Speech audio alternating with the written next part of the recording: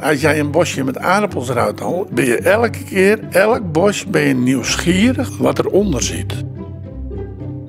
Dan haal je ze uit die grond vandaan en dan denk je, nou dit is hem hoor.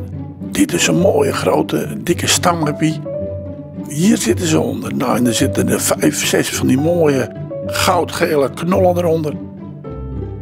Elke keer weer is hetzelfde ritueel.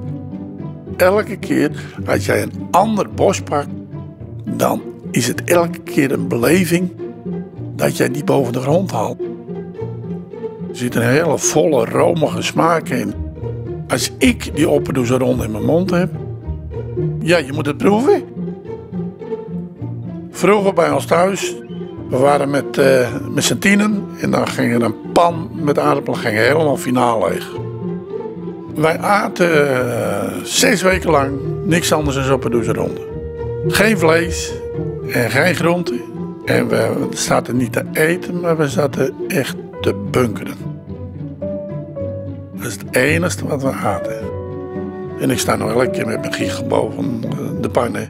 Want opperdoeze rondjes zijn vlees en groenten en aardappelen tegelijk.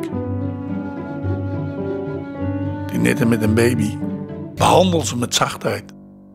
Behandel ze als eieren.